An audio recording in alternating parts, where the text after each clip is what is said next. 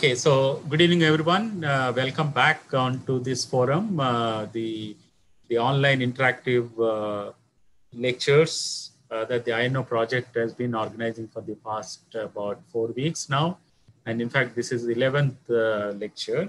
Uh, we have today Professor Urjit Yajnik from IIT Bombay. He obtained masters in physics from IIT Bombay and PhD in physics from University of Texas at Austin uh, in 1986. After a postdoctoral position at TIFR, uh, he has been on the faculty of IIT Bombay since 1989. Uh, currently, is also the convener of the Center for Advanced Study there. He has been a visiting professor at McGill University and also University, University at Montreal, Canada, and uh, University of California, at USA. Uh, he has been a visitor to ICTP Trieste, Italy, as well as Perimeter Institute, Canada, and other centers of advanced research in Germany, South Korea, Japan, and China. Uh, his research has been mostly concerned about unified uh, theory, supersymmetry, general relativity, and cosmology. Uh, so now we, uh, today of course, is going to talk on neutrinos and matter-antimatter asymmetry a unification perspective. So over to you, Nick. Okay. Thank you very much for the nice introduction and uh, welcome to you all for this talk in the series on all about neutrinos. I'm very happy to be speaking in it. Uh, it's one of the most interesting forums we have on neutrinos right now, especially because the INO is uh, getting active again. Uh, I hope that you have all been keeping safe and doing well. And uh, I hope that our participants from the East Coast are also safe and fine with that uh, storm passing by. So I hope everyone is uh, going to enjoy this talk. So uh, I have been told that uh, I don't want this talk to be very heavy. At the same time, there are some very interesting concepts that have emerged in the course of trying to understand neutrinos. So I will try to focus on a few uh, topics that are that make the whole topic of neutrinos uh, very very intricate and interesting. Now you people have already had a big dose of uh, basic neutrino physics, its origin, history, Wolfgang Pauli's hypotheses, etc., and Fermi theory, etc., etc.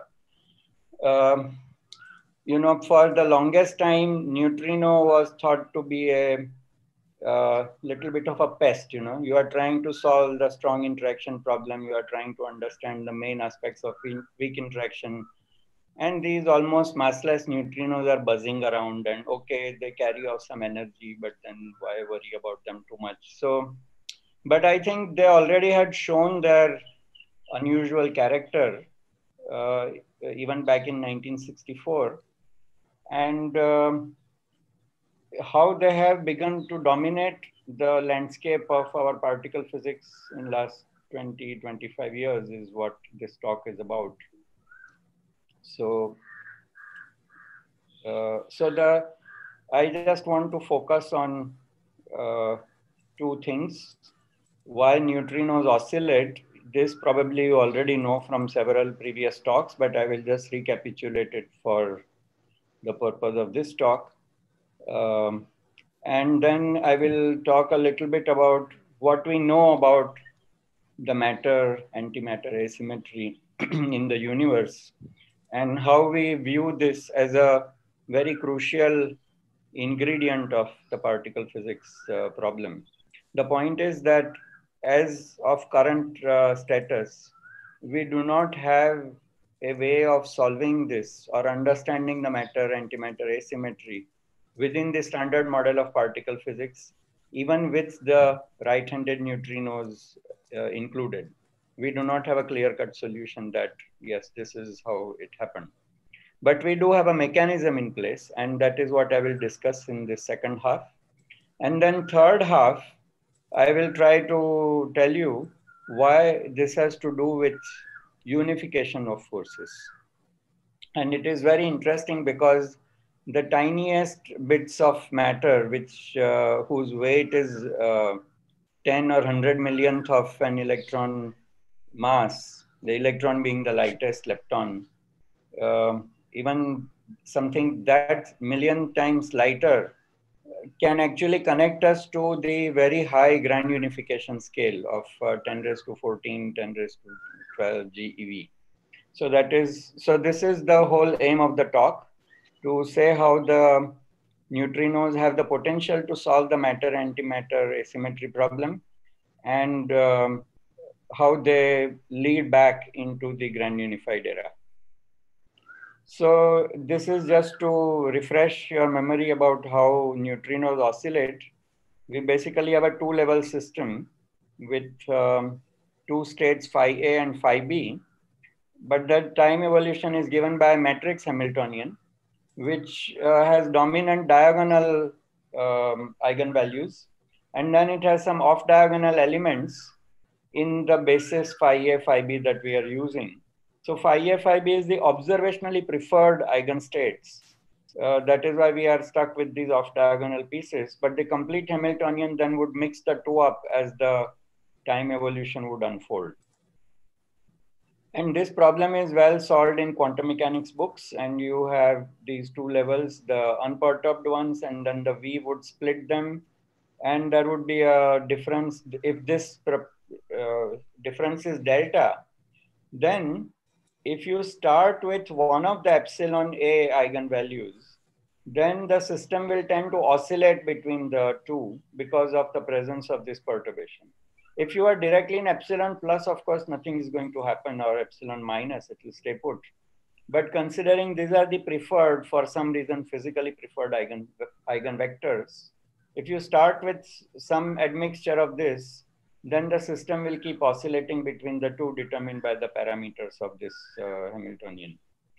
So in neutrinos, the way this comes about is that the observationally preferred uh, eigenstate is the weak interaction basis. And the reason is obvious. The sources of neutrinos are all weak nuclear processes.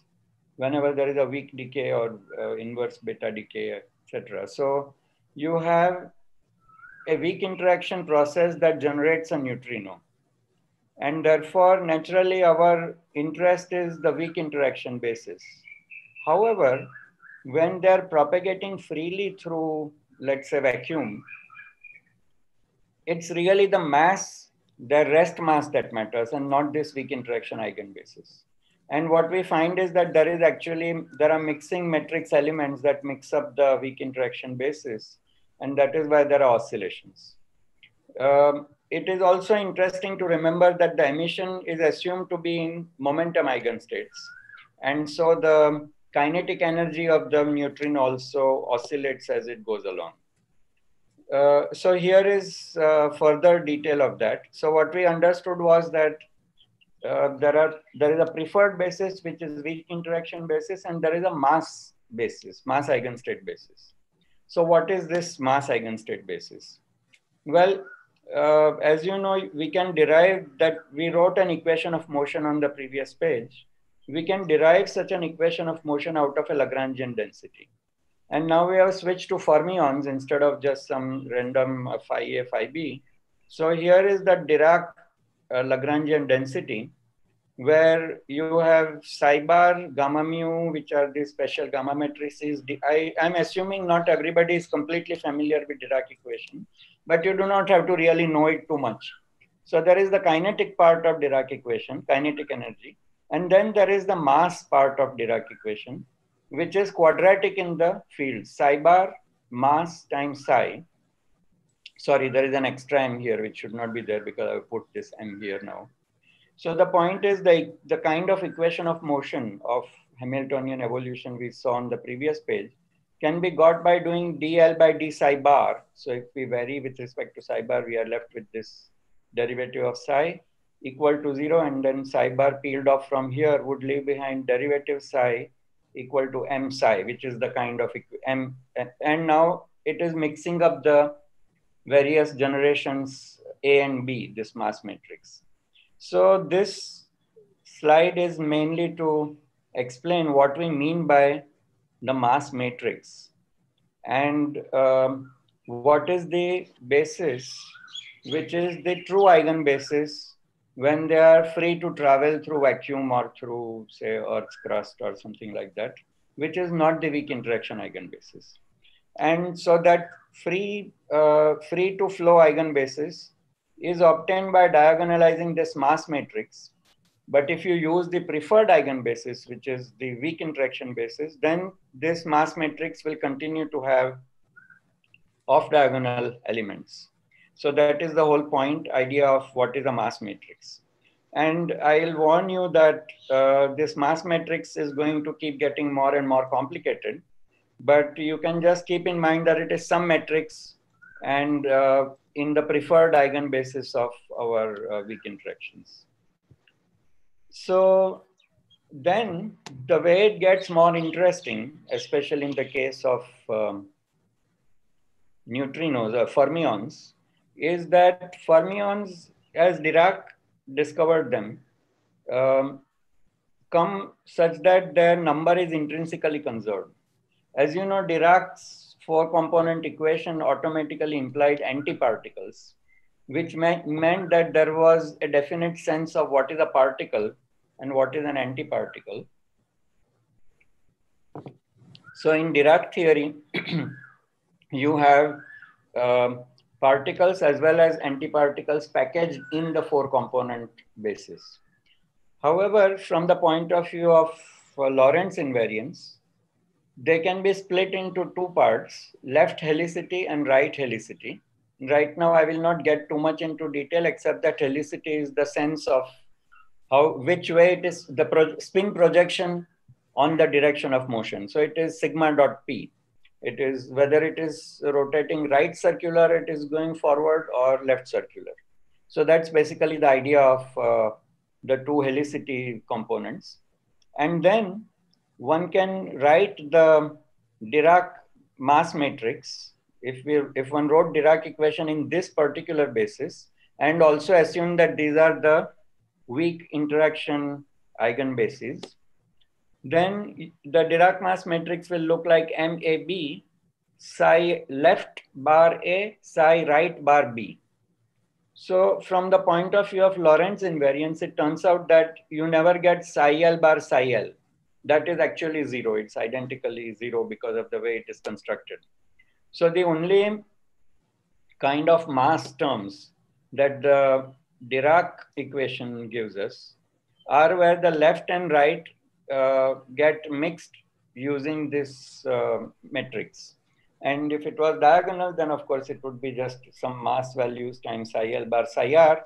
And we call the combined package psi L and psi R as our preferred fermion.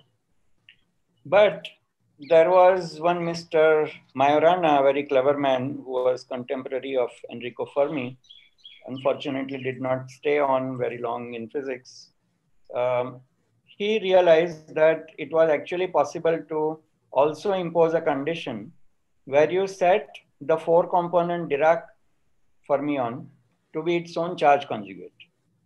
So this is just like what we do for photons. We use sometimes complex notation in electrodynamics. But then in the end, when you have to write out the Fourier, uh, Fourier transform, we re remind ourselves that the E field is its own self conjugate and B, they are after all real fields. So we, although we expand them in complex notation with E raised to ik dot x, we remind ourselves that E star has to be E, B star has to be B, or the vector potential has to be its own conjugate. This becomes just like that. It just says that the four component Dirac equation is its own conjugate. So the left and right-handed components remain, but then somehow they are on charge conjugates. You do not have a distinct antiparticle. So we are left with two degrees of freedom. One consequence of this is, which we don't have time here to write out, but it's very easy to see. It turns out that fermion number would be violated. So if you took that Dirac equation and tried to find the conserved current like we do for in quantum mechanics, uh, write a conserved density and probability density and a probability current, that combination would not, that current density and current will not come out conserved. And that non-conservation would be proportional to the Majorana mass. And the Majorana mass matrix looks like this, where you have, firstly, first thing to note is that the Majorana mass involves either the purely left-handed doublets or purely the right-handed doublet. So with the purely left-handed doublet, the term looks psi L transpose and the charge conjugation matrix. It's from the gamma matrix algebra. So that this whole combination is actually uh, such that it saturates the Lorentz indices of the psi L, the psi L. So the Majorana mass matrix has a structure like this with only the left-handed fields appearing here and psi L transpose charge conjugate psi L. But now it can mix the generations A and B. It can mix the flavors A and B. So we call this M Maj and this is M Dirac and uh, they both mix up the various generations, but in somewhat different ways, okay? So this is the thing to remember that the mixing of neutrinos is quite an intricate affair with a very intricate matrix. We haven't yet seen all the details of the matrix either, but uh, this is the beginning. Although it's a, it looks reasonably simple, it's just bilinear, so it is just ordinary linear algebra. Uh, it does lead to very interesting consequences. So we will come back to this later and see how this helps us to tie up with the grand unification. So now we uh, go off into the matter antimatter asymmetry part. Uh, just to begin with, I would say I've written out that there is no smoking gun signs of any antimatter. So we know that our entire planetary system has to be just protons and electrons. There cannot be any antiprotons and positrons because if there were, there would be some violent um, uh, annihilations and uh, gamma rays would be proliferated. This feature, sorry, this feature continues to the edge of the universe. However far we see, we do not see any large regions where there are uh, matter and antimatter domains coming together or anything like that.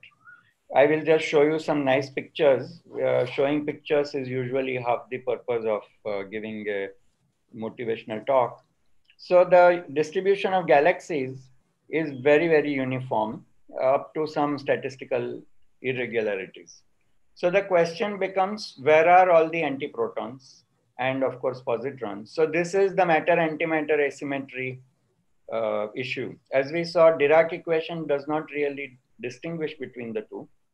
So uh, why are there only particles in the world and no naturally occurring antiparticles? Uh, before I go on to the pictures, let me just also say how we quantify this uh, matter-antimatter asymmetry the point is that we do have, uh, so whatever we have now, obviously is what the universe originated with. Wherever you want to put, put the origin, it doesn't matter. But suppose we put it before formation of galaxies somewhere. After that, the protons number would be conserved, electron number would be conserved, hydrogen would be formed, other elements can form. But how do we quantify the, how much is remaining? by it is by comparing it to the entropy density of the also the primordial photons, the photons of the cosmic microwave background radiation. So we compare the primordial baryons with primordial photons. And since photon number is not a well-defined quantity, we write the photon dense, uh, entropy density, which also has essentially dimensionally the same. So it's like number. So we compare NB minus NB bar, the net baryon number, to the net entropy density in photons And this is the measure we use to, uh, dimensionless number we use to characterize how small NB is. And this number is about parts per billion, okay? So it looks reasonably small, you know, I mean, typically if there are billions of photons uh, coming out of the primordial soup, you know, the Big Bang, you should have some comparable number of other matter remaining. But no, the or of course it should annihilate completely and become zero. So it turns out that if it really freely annihilated, it would have been much, much smaller. And if it was really not annihilating efficiently, then it would be much larger and comparable to photons. The puzzle we have right now, the real quantified puzzle of matter antimatter asymmetry, is this number which hangs somewhere in between, neither tiny like 10 raised to minus 20 nor close to order 1 but it is precariously balanced at being parts per billion. And we will see why this parts per billion is a very crucial number in uh, the kind of universe we have obtained today. So and these these numbers have been verified in many different ways.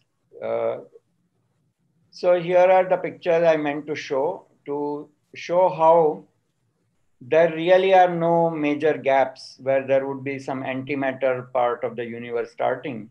This is a fairly old survey from 1990s. Um, every single point in this survey is a galaxy. The color coding is, of course, artificial to show some of the brighter and the less bright components. But if you see on the whole, it is pretty, uh, and it is showing some pie in the sky, some wedge of the sky but uh, we see a almost continuous distribution of luminous matter without any major divides or uh, partitions happening in it. Uh, there is, of course, statistical fluctuations of the distribution and brightness and so on, but it is all within the limits that we still hope we understand. But there certainly don't seem like islands of anti antimatter hiding out there. Similarly, here is a very interesting um, survey of uh, quasar redshifts. So did you know that there are so many quasars that people have already cataloged? Uh, this is the so-called two degree field survey. And it looks in, into a particular wedge of the sky and actually in a very narrow, uh, narrow ascension, I think angle it's called. Uh, and it is a map of the number as a function of redshift. Goes up to redshift of about C, 3, which in this, which can be trans, uh, rewritten, transcribed in the billions of light years units.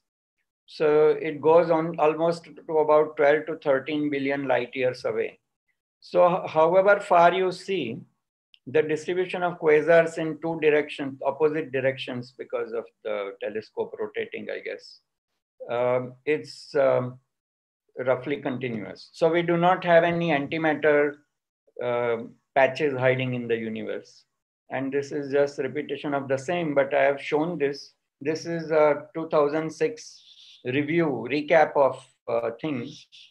It does show large features like this. There's a wall here, and there are some special features here which are called uh, Sloan Great Wall and CFA2 Great Wall and so on. And that 2D, two degree field uh, luminous map is here. That was quasar map.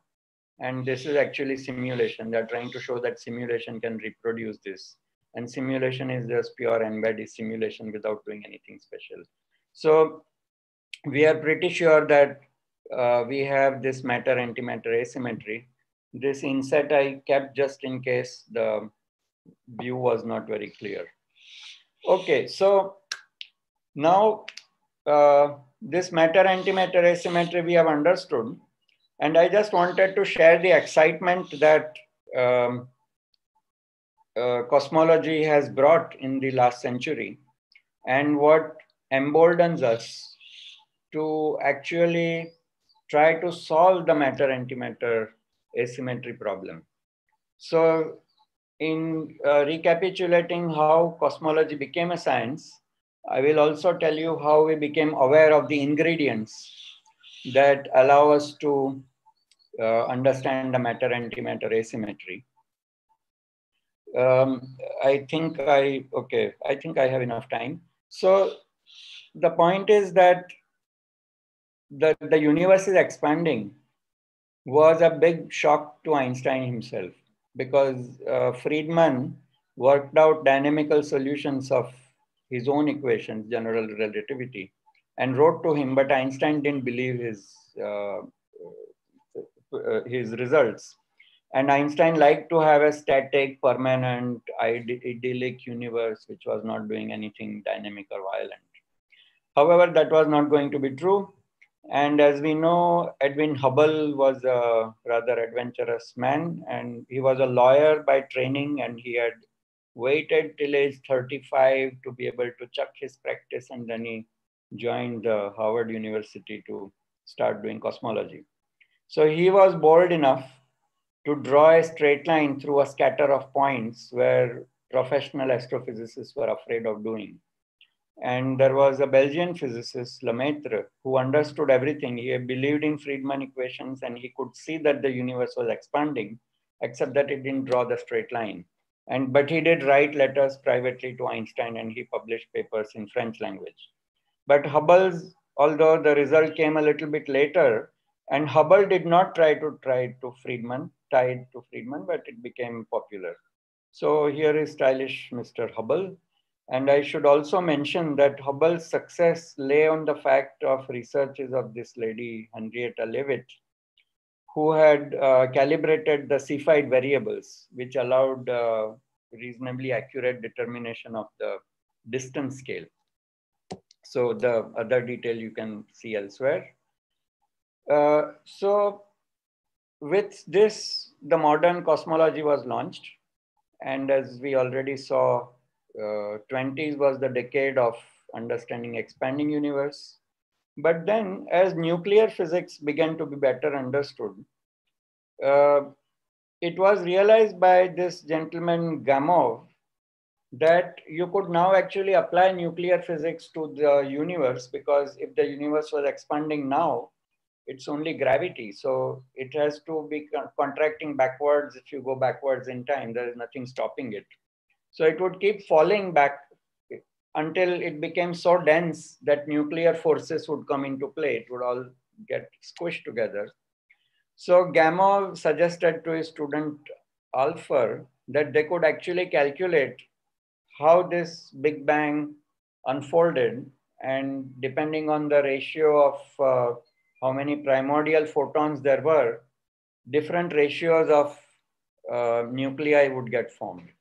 So uh, I will just tell you a little bit later, but basically they worked out nucleosynthesis as well as uh, Alpher and Herman worked out the cosmic microwave background as coming from Big Bang in the mid or late 40s.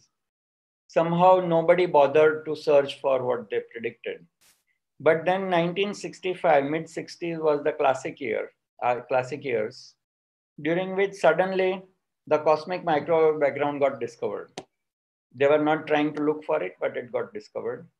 And also, uh, as the accelerators became sophisticated and the methods became sophisticated, CP violation got discovered in K-meson decays. So what we are going to see is that this hot expanding universe and availability of CP violation, these are the crucial ingredients that suggest to us that we can explain matter-antimatter asymmetry. So um, just to go into more detail here, it was alpha beta gamma, this so-called alpha beta gamma paper that estimated uh, helium to hydrogen ratio in um, uh, 1948. So they had to estimate if you start with pure all hydrogen, because at really high temperature, there would be just nuclear protons and neutrons. And as the system cools, the fusion processes would start. But the, and, you know, deuteron and lithium and helium would begin to form. But the lighter nuclei as they form would keep getting blasted away by the photons that are still in equilibrium.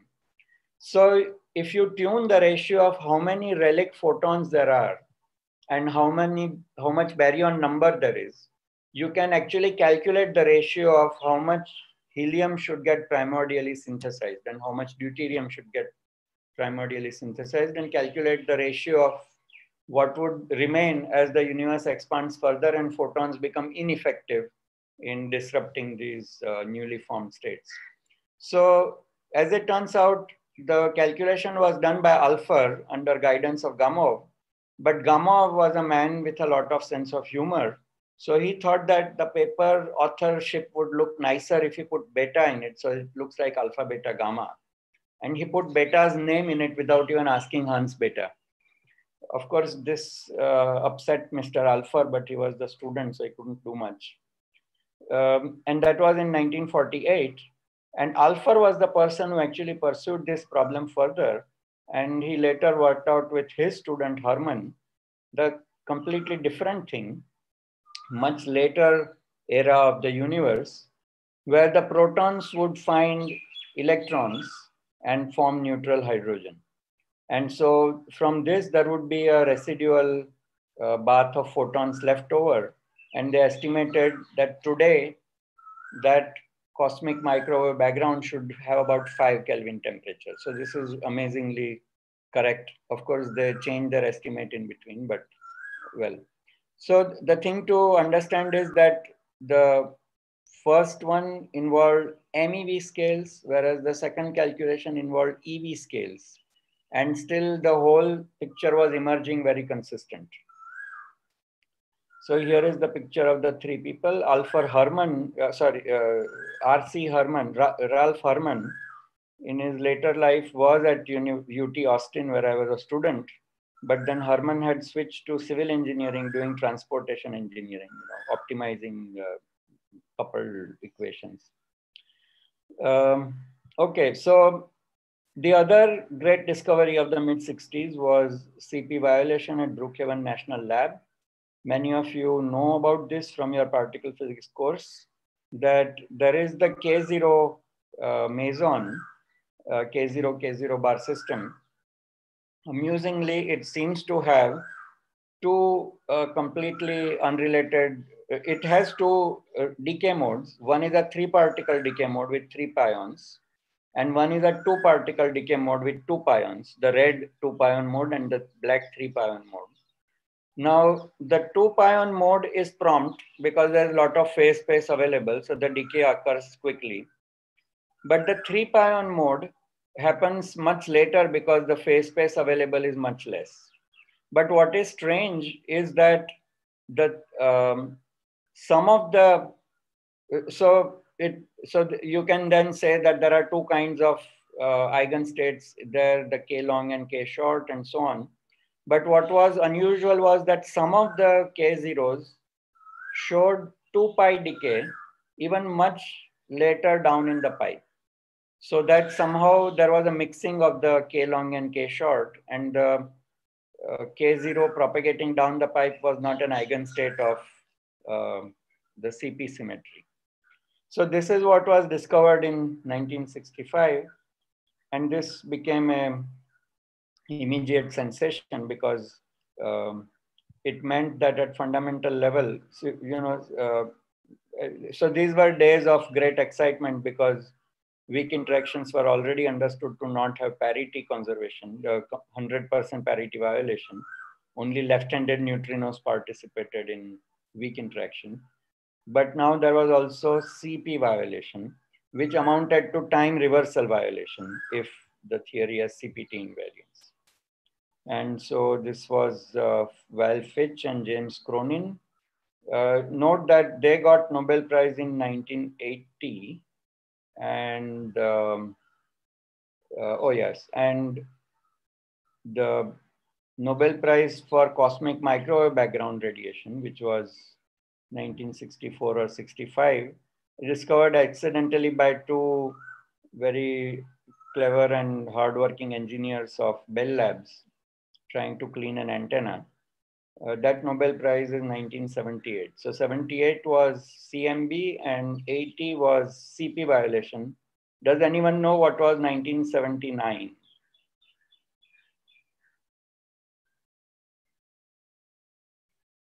Okay, that's an audience question. If somebody wants to answer, they can post the answer. Glashow Weinberg Salam. Uh, not ex experts are not expected to answer.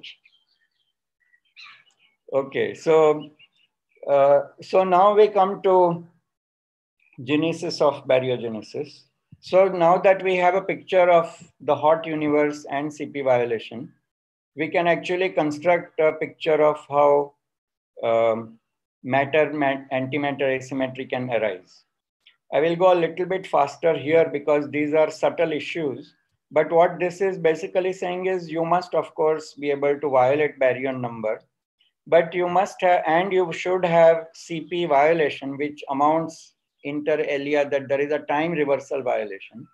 But you should also have out of equilibrium condition in your medium so that the time reversal, absence of time reversal can play out. And some forward rates which are faster than the others, the slower ones do not recover. And so, and then the system goes out of equal, uh, you know, reaches a temperature where those processes cannot happen anymore. So out of equilibrium conditions are very important in addition to CP violation so that you can create this asymmetry.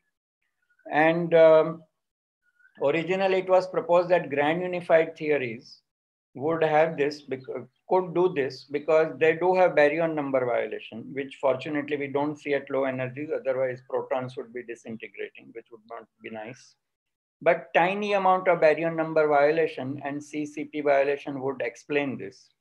The point is that the out of equilibrium condition means that the Hubble expansion rate has to be fast compared to the particle physics decay rates.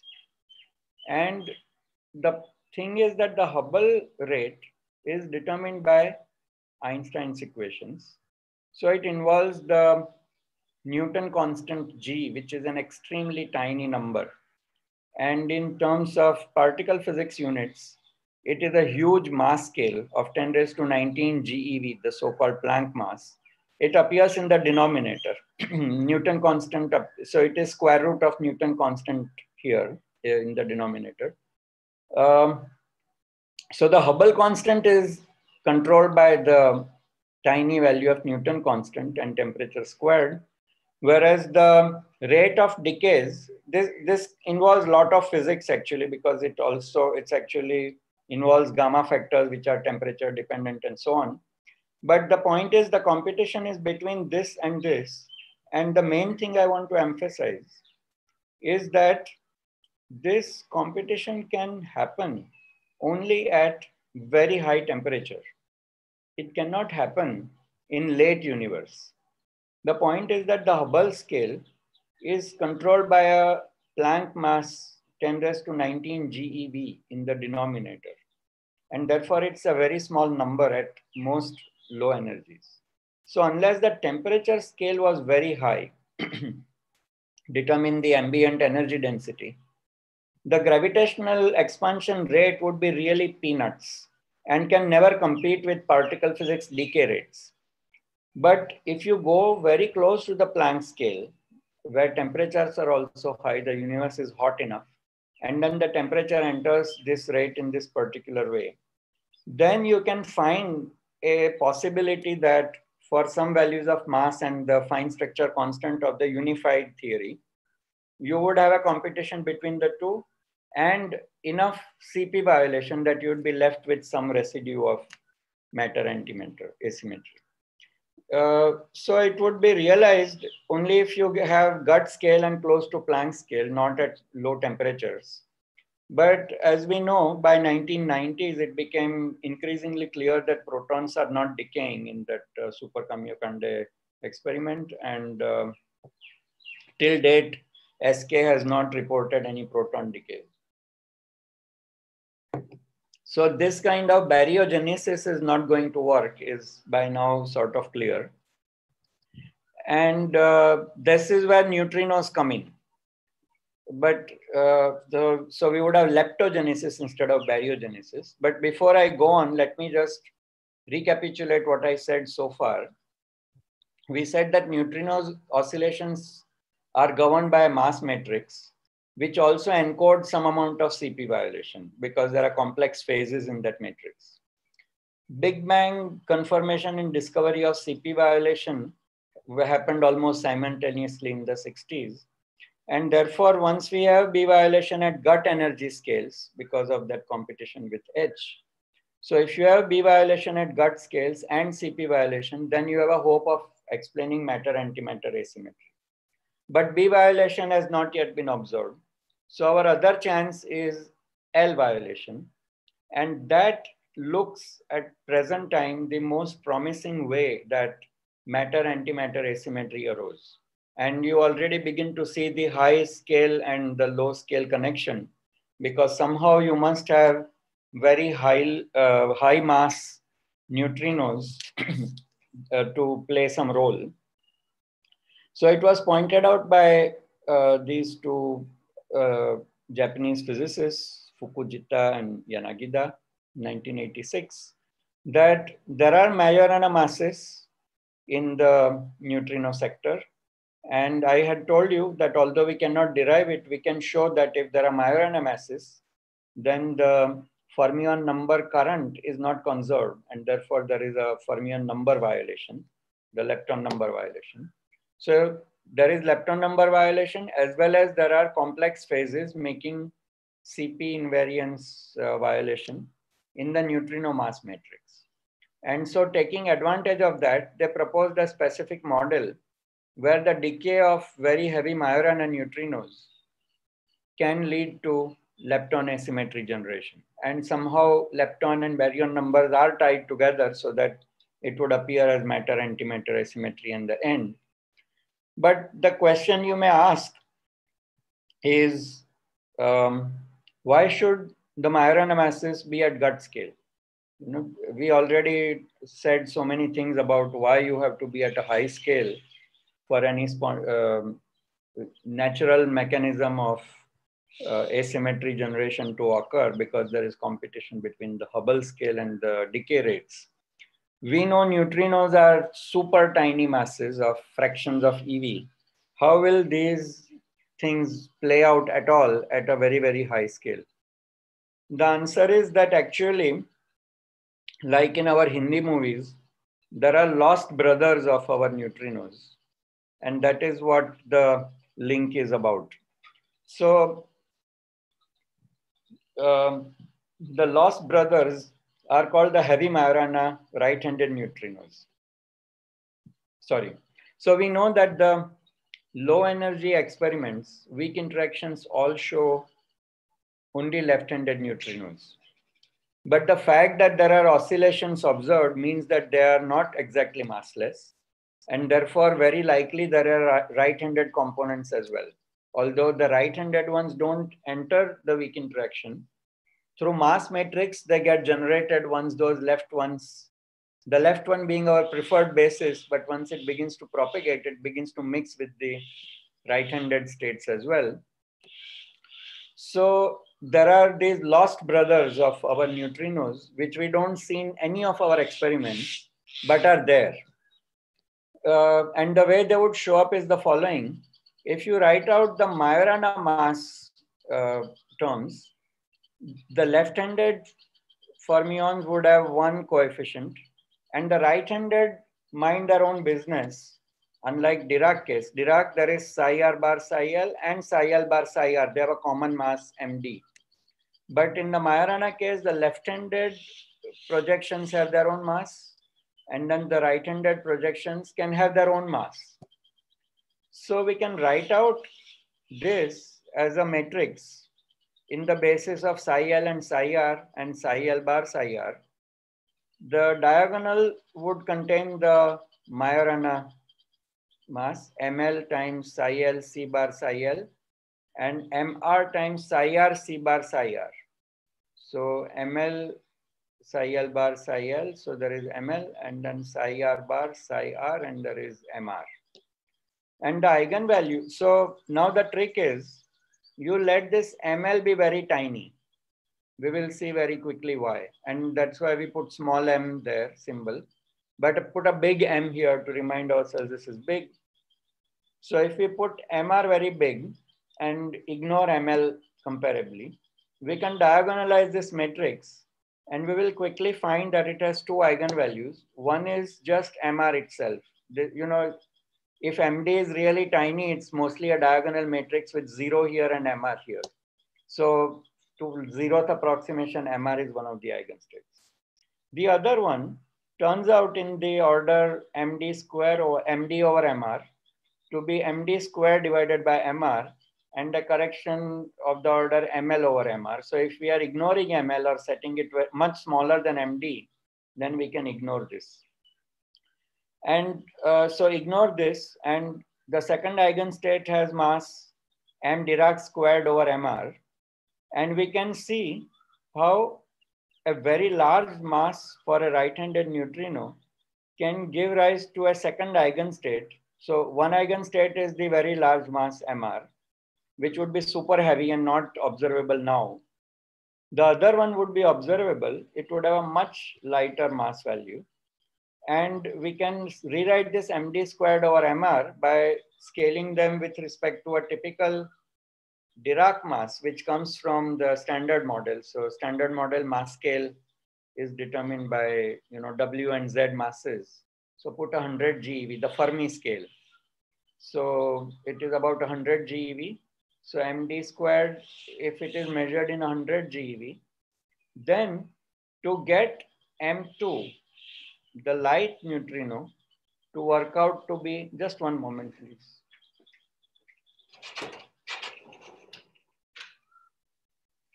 Sorry, some birds were going crazy, so I had to. So the M2 can be really small of the order of 0.1 electron volt, which I think is the light neutrino masses now. The delta M square values of neutrinos suggest fractions of EV masses. So you would get the second eigenvalue M2 to be 0.1 EV provide and with MD assumed at the typical standard model scale, provided the right-handed neutrino was at 10 to the 14 GeV. So this is a very beautiful connection. It comes out purely from Lorentz invariance of mass uh, metric structure found by, I hope I've written somewhere, yeah, Gell-Mann, Ramond and Slansky in the uh, mid to late 70s.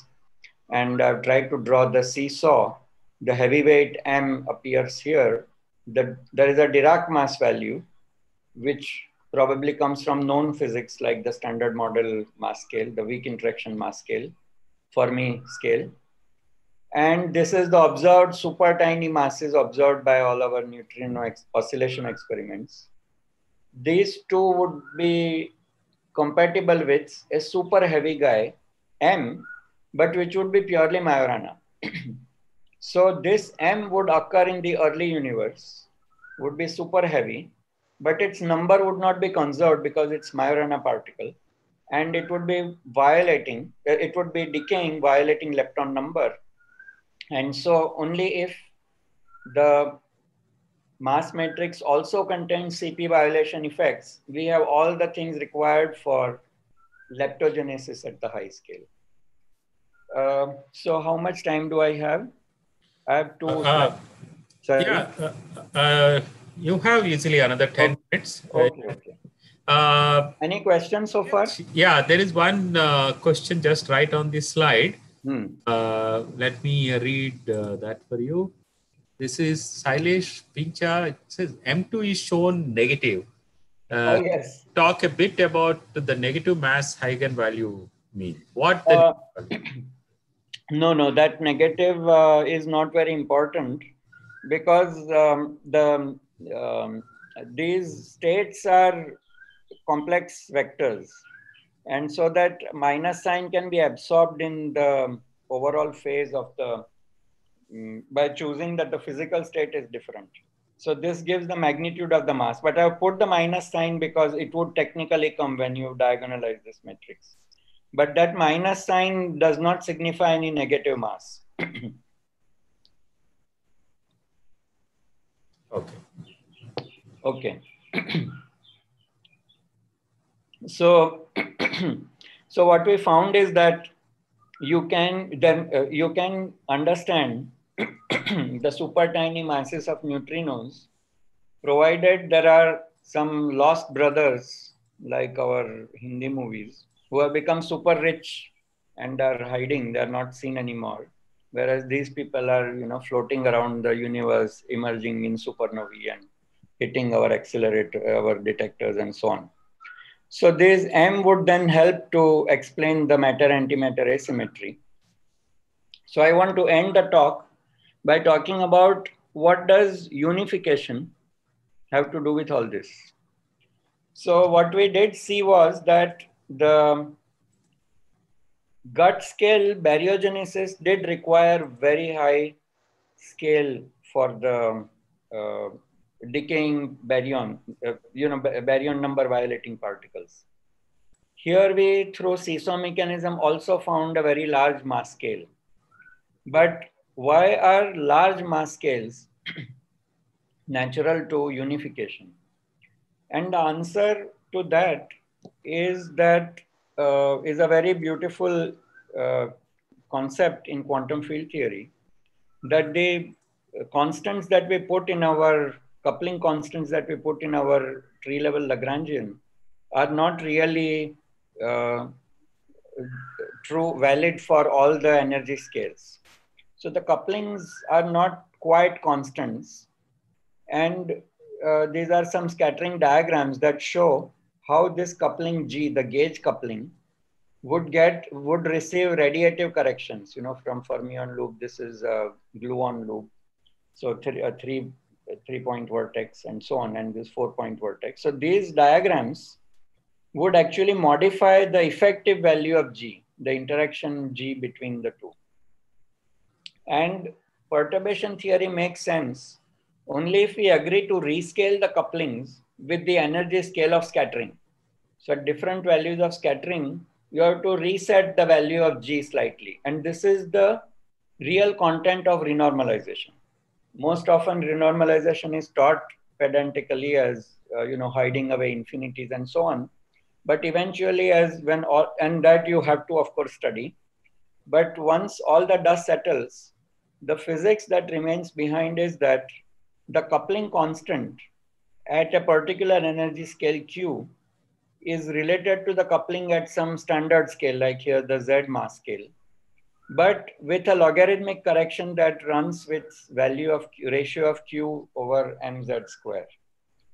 Now, the point is that fortunately this running is logarithmic. So the mass, the constant is approximately a constant. After all, if you go hundreds thousands of times, only then it shifts by a few a small amount. So that is, of course, a good thing. The BI are some coefficients that would come from the calculations. So the dependence is on uh, log of Q squared. So these couplings run, but of course run very, very slowly. So the physics is mostly sensible still as constants. It is because of this slow running that we naturally expect a very high scale to unification. So here are the inverse couplings. The, that equation was also for one over the fine structure constant, one over fine structure constant. So we have inverse couplings of the three forces. This is the abelian force of uh, U1Y, and these are the SU2 and SU3 running. And uh, the abelian one runs the other way, whereas the um, non-abelian ones, it, this effect of uh, becoming stronger is true only for the non-abelian ones. So the non-abelian inverse couplings are growing here with higher uh, with scale. And the three, the low energy electromagnetism, the Fermi scale and the low energy strong interaction scale, they would all come together almost, provided you went to very high energy like 10 to the 15 GeV. Now this actually shows the running based on uh, I think the this is probably even quite old, the LEP data, and soon after that, when the masses low energy, the up to Fermi scale was all very well determined parameters, but the three curves fail to meet in one point. So the unification idea was dashed. Okay, so the title of this slide is Dreams of Grand Unification, which are not yet realized but the unification idea was originally proposed by Jogesh Pati and Salam by proposing a symmetry between left and right and making lepton number a part of baryon number and so on. And by Georgi and Glashow, another model. Uh, but they only proposed how the quantum numbers all fit nicely if you put an SU5 instead of the SU2 cross U1 cross SU3. Um, but the idea that that unification was dynamically realizable was worked out by Georgi, Quinn, and Weinberg by drawing these graphs and noting that because the coupling is the running is logarithmic, the three couplings have a good chance of coming together and at a very high scale. And so this suggests that the seesaw scale may, so seesaw scale may actually originate in some grand unified theory.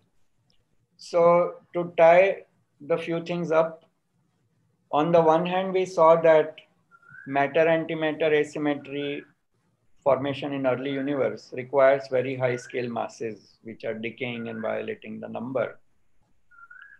We also saw separately seesaw mechanism possible for neutrinos, which would naturally explain why the light neutrinos are so super light compared to the weak scale and would indicate the lost brothers at a very high scale.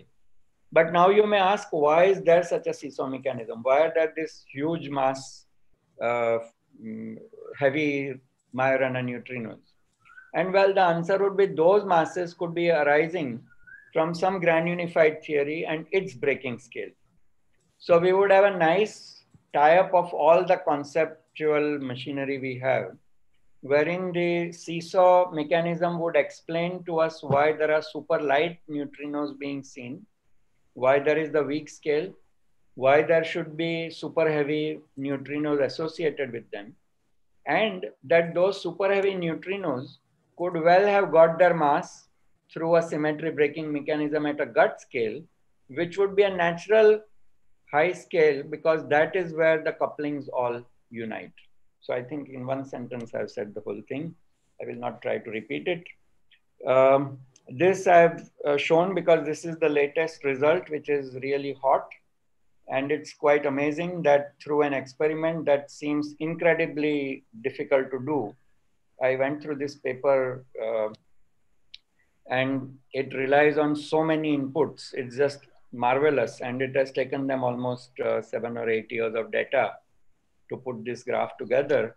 But what they're showing is that the delta CP, the CP violating phase angle, is almost certainly uh, at a really midway point. It's neither zero nor pi. You know, the off the zero or pi, this is 3.14. So this is pi if it had fallen here or there, that CP violation would be tiny.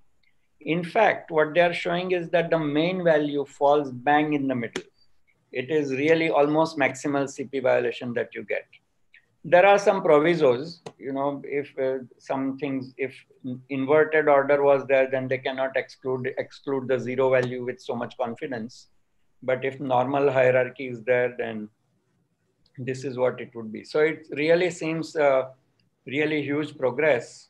Although if you are a purist, you would notice that they are not able to exclude, they say. So they end their paper by saying the CP conserving points, conserving points are not both excluded at 99.7 level, but otherwise they are. However, a large range of values around pi by 2 is certainly plus uh, is excluded. So that is the their main message and that they're very hopeful that actually it is here and soon the zero and pi values will be excluded. So you would know for sure that neutrino oscillations definitely uh, cause CP violation.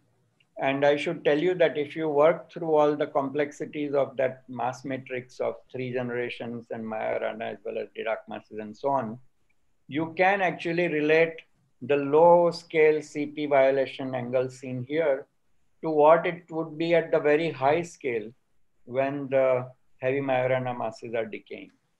So it's really a very exciting development that we have had. And uh, it brings together all the great things that we have been looking at for last almost 50 years after maturing of cosmology and of particle physics. Um, so any questions on this? Uh, I will read out the conclusions. The full neutrino mass matrix with Dirac and Majorana terms uh, would mix flavors as we see the oscillations, but would also have CP violating phases. And if there are Majorana terms, then they would also be violating lepton number. And now these are the ingredients that you need in the early universe creation of asymmetry, L and CP and competition with the Hubble rate. But to be able to compete with the Hubble rate, the scale has to be very, very high, or rather get, giving Hubble rate the fair chance, the mass has to be very, very high. That mass would come certainly from seesaw mechanism, which would also simultaneously explain why the observed neutrinos are super tiny mass, you know, the, the partners of the super heavy ones. And the super heavy masses would have a nice explanation in terms of grand unified theory like SO10, which still is a possibility. So thank you very much. And I've typeset with a particular software called TeXmacs, which I really like. Thank you. Thank you very much.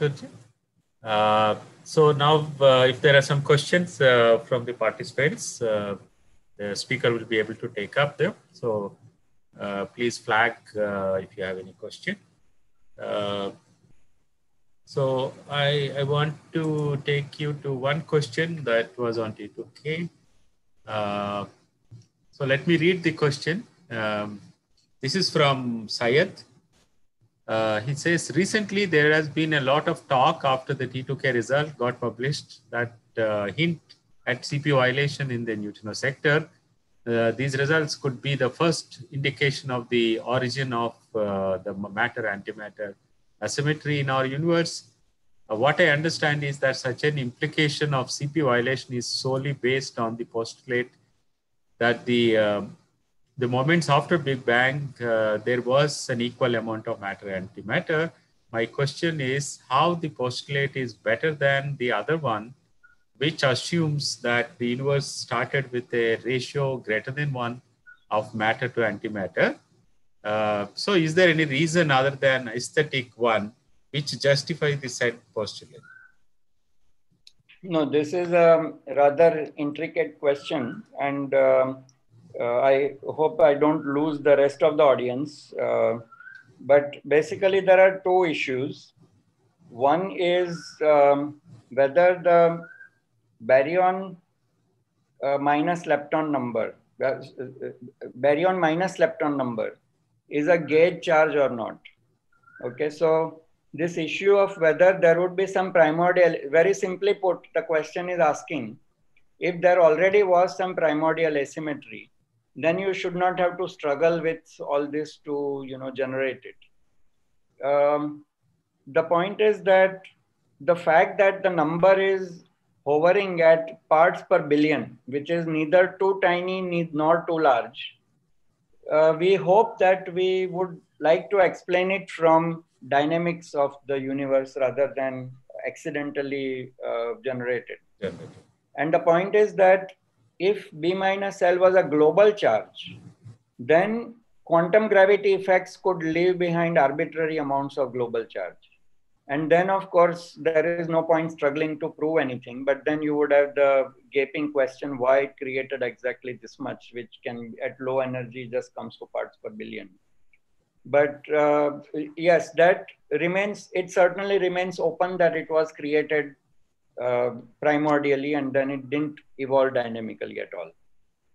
But you would still have to take, if the current uh, observations are progressing right, there would be still an interplay with asymmetries being generated because now we have all the ingredients present. We, if we, we do have very high scale neutrinos as well as CP violation, they would be erasing some of that earlier created B minus L as well. So we have to worry about that in a, as a package. Okay, uh, we have a question from Naveen.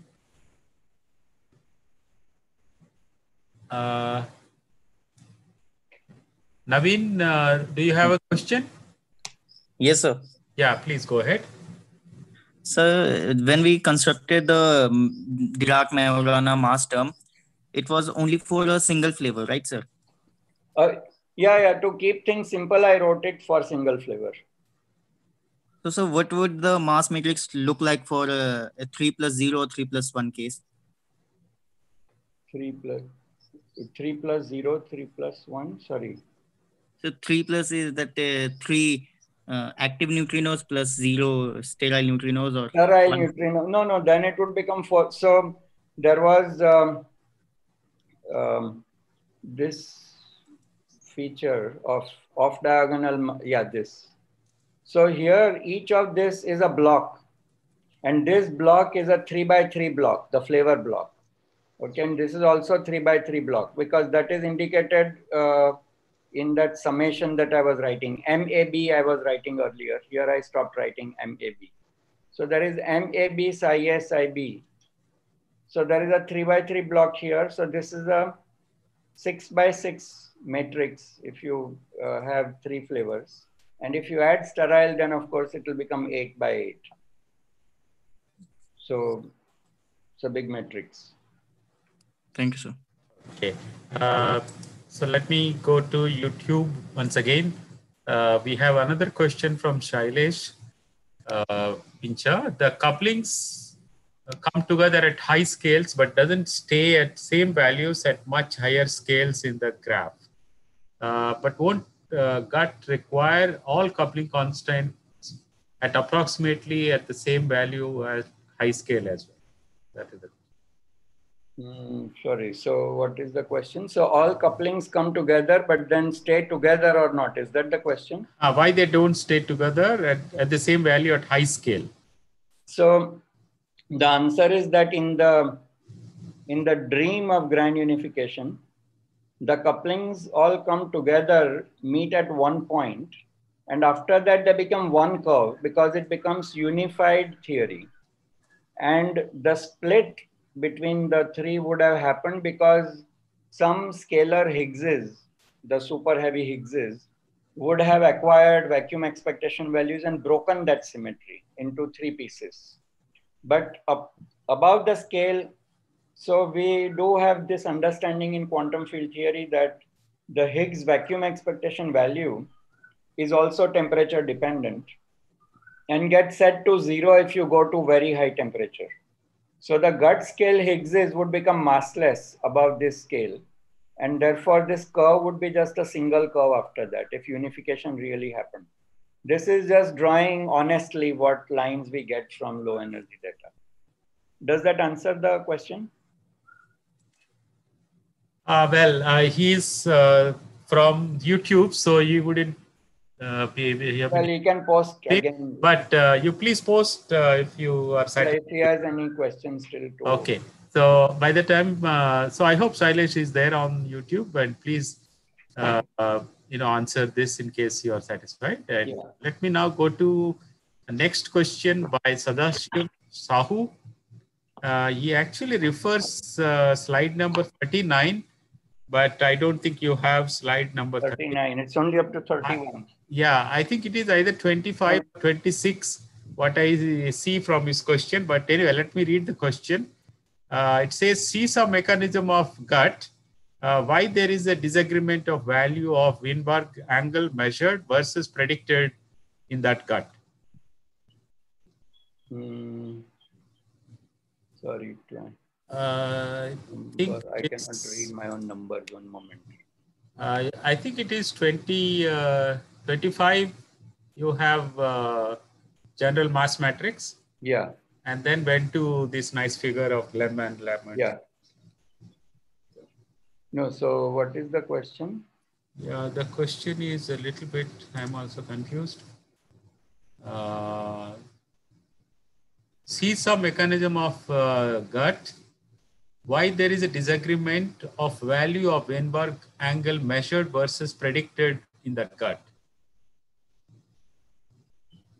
Uh, no, see not very any clear. angle? No, Uh, as you know, we barely came out um being sure that delta CP is non-zero at low energies. at high energies, everything is open. Nobody knows what the real angles are. Okay, uh, he kind of says 29. Can we go to 29? Sorry. Yeah. That is T2K result. Okay. Okay. Uh, just let me read. Ah, ah, ah, ah. So that makes sense. Uh, why see seesaw mechanism of uh, grand unification theory? Why there is a disagreement of value of Weinberg angle and measured versus predicted in that plot? Oh, oh. So if he's asking a very detailed question, I don't think I'll have a answer immediately for him.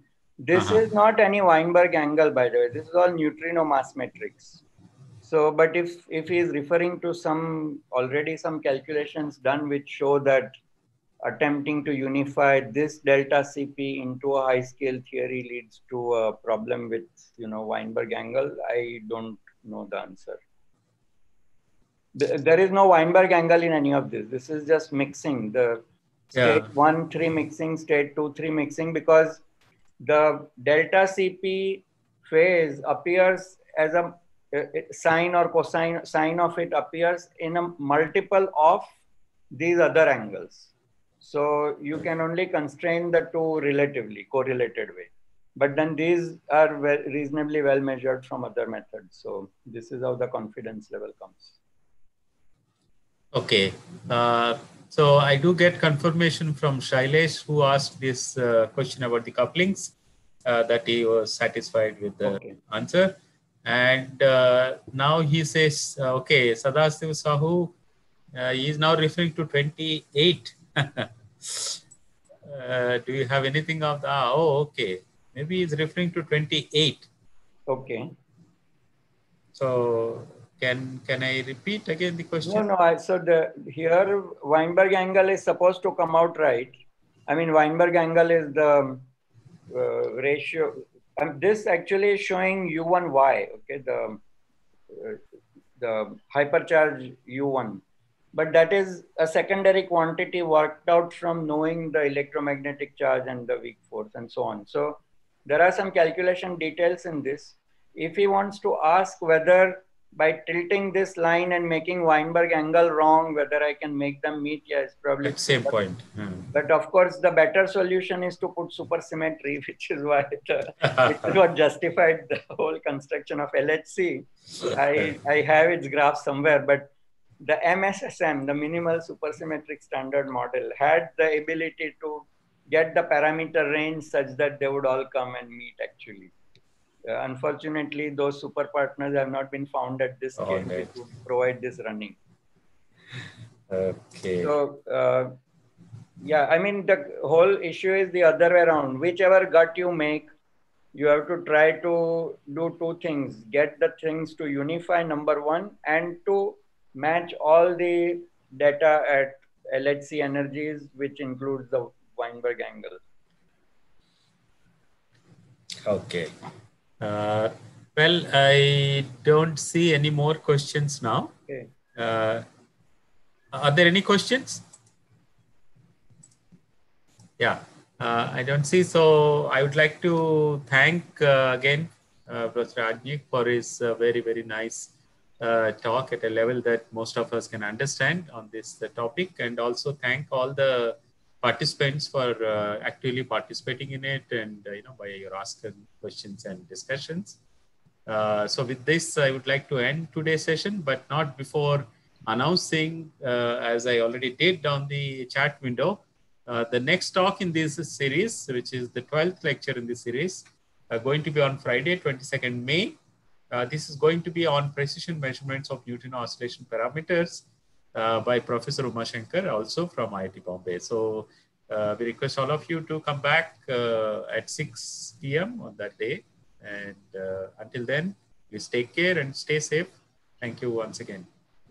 Thank you, everyone. Thank you. Bye bye. Bye-bye.